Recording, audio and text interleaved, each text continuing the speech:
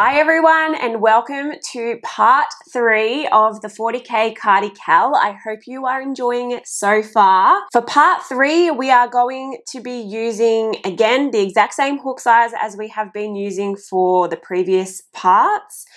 And we are also going to need some yarn. Now, if you're doing the six color option, you are going to want to use color number three, which for me is the duckling in the Dirty DK.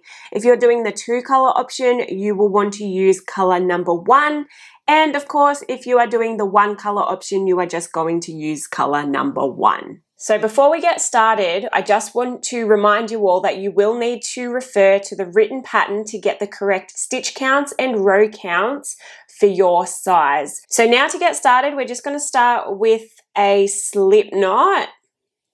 And now we want to complete our foundation chain. So nice and easy, we're just going to chain up as many stitches as the pattern calls for in our chosen size. Okay, once you've completed your foundation chain, we want to complete a double crochet in the fourth chain from our hook. So skipping those first three chains, so one, two, three, finding the fourth chain from our hook and completing a double crochet.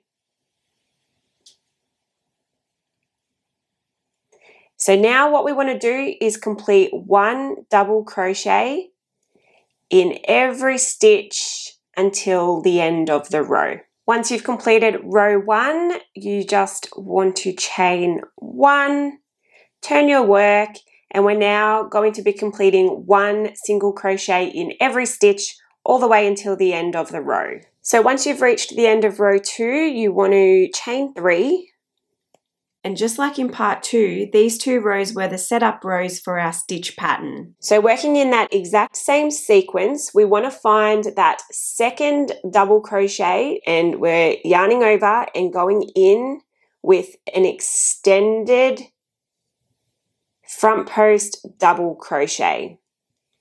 Just like that. Now we're going to complete a normal double crochet and repeating that sequence all the way until the end of the row. Okay, here I am at the end of row three. I'm now chaining one and turning my work.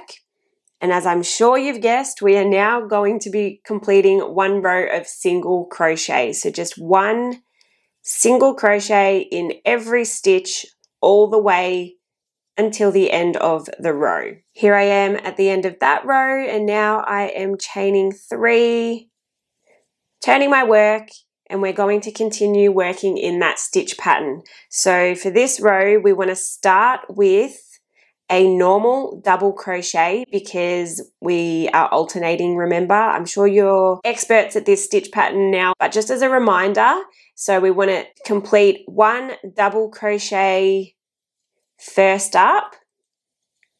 And then we want to go in and around that next double crochet with an extended front post double crochet. And just repeating that stitch pattern all the way until the end of the row. So here I am at the end of row five. Now what we're going to do is repeat that stitch pattern until we have completed the amount of rows relevant to the size we're making. Again, referring to the written pattern for those row counts. Okay, so here I am at the end of my solid section. So the section before we start the decrease rows. This is the wrong side of my work, obviously. So now I'm just gonna chain three and turn my work. And now we're going to be starting our decrease rows, but instead of decreasing at the start of the row, this time we're going to be decreasing at the ends of the rows. And this is because obviously with this stitch pattern, it's got a wrong side and a right side. So we want to make sure that the tapering in is now on the opposite side to our previous piece because we want to have that tapering in going along this way. Okay, so all we're going to do is continue with the stitch pattern until we have three stitches remaining at the end of the row. So working the exact same stitch pattern as we have been. So just alternating between the normal double crochet and the extended front post double crochet. And just continuing that until we only have three stitches remaining. Okay, so here I am with just three stitches remaining. So now what we're going to do is decrease and the decrease will work exactly the same as what we have been doing on the previous panel. So I'm not going to go into too much detail about that. So we're just going to decrease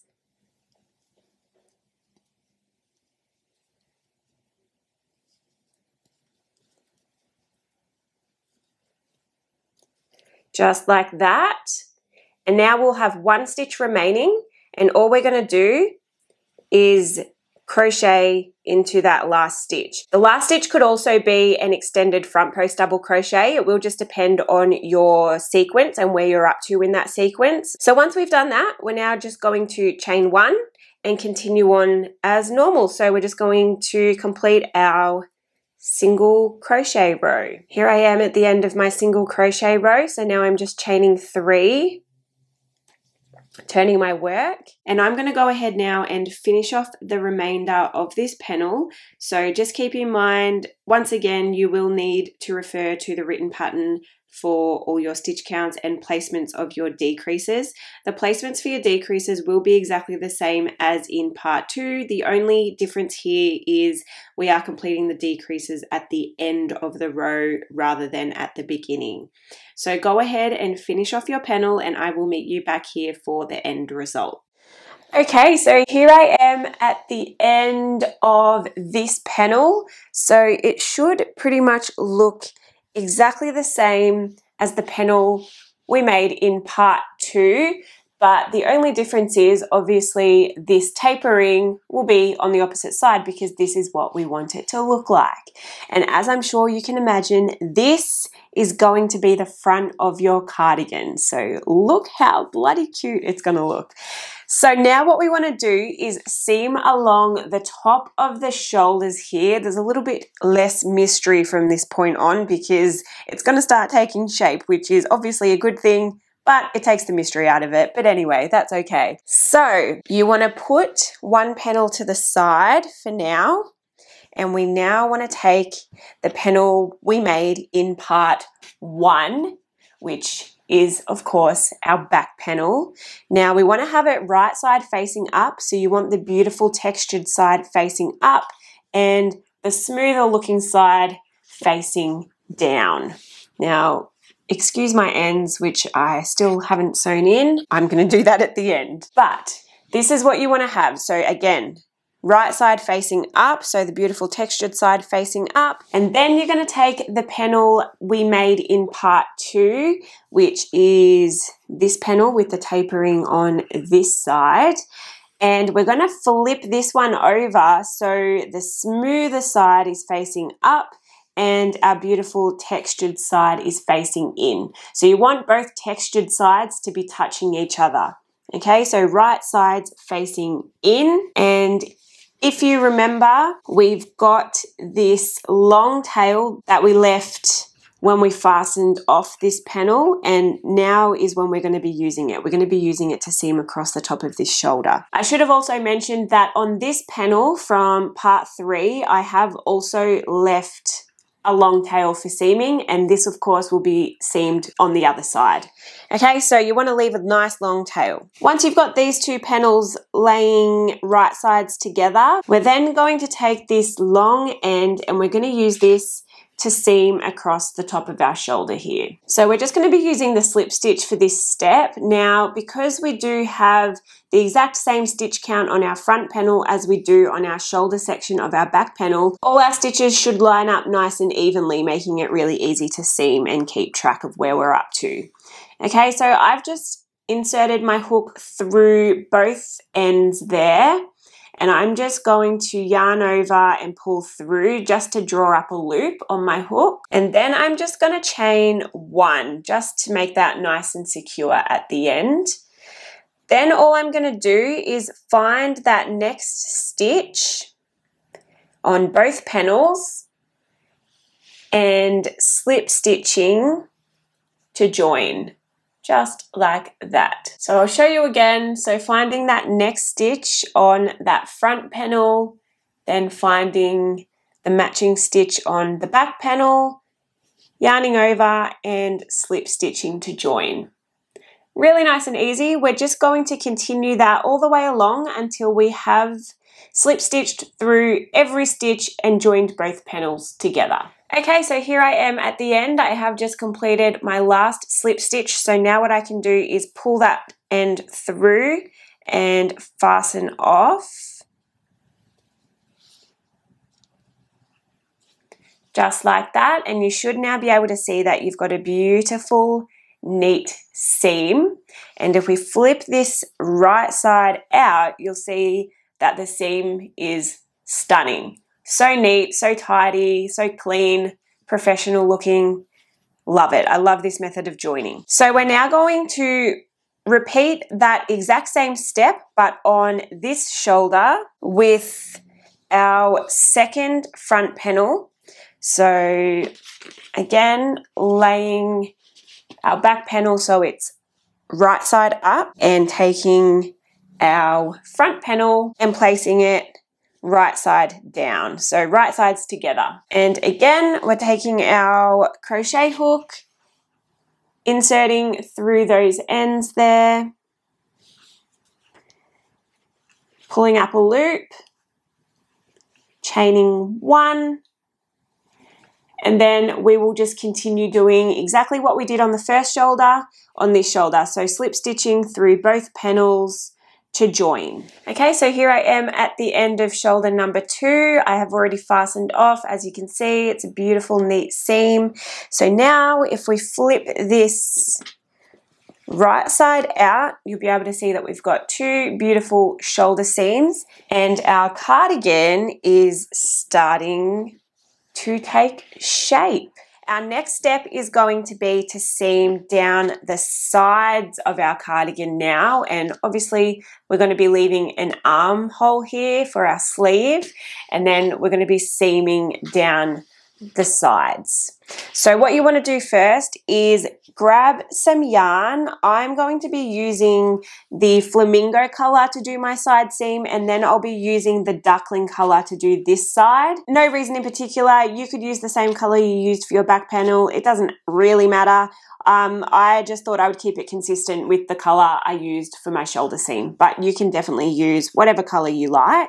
So for this step, we want to be working along this way. So from the bottom upwards.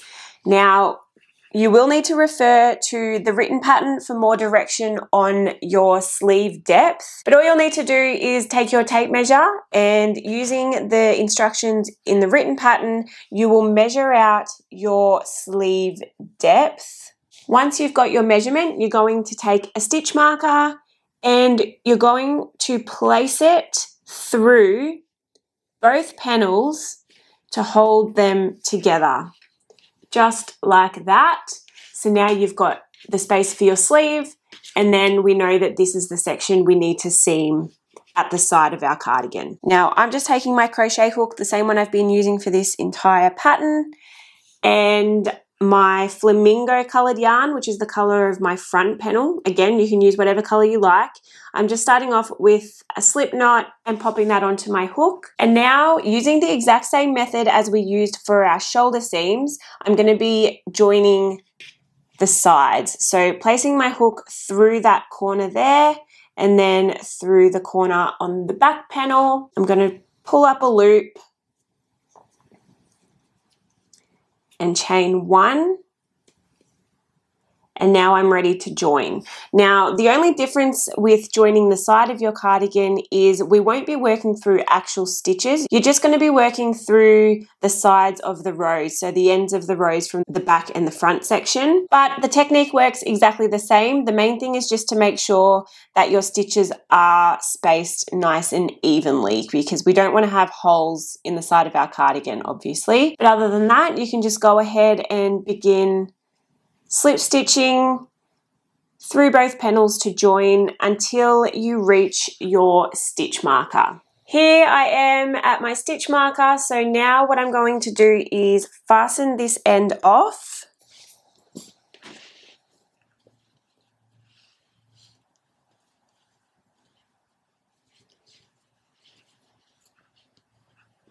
Just like that.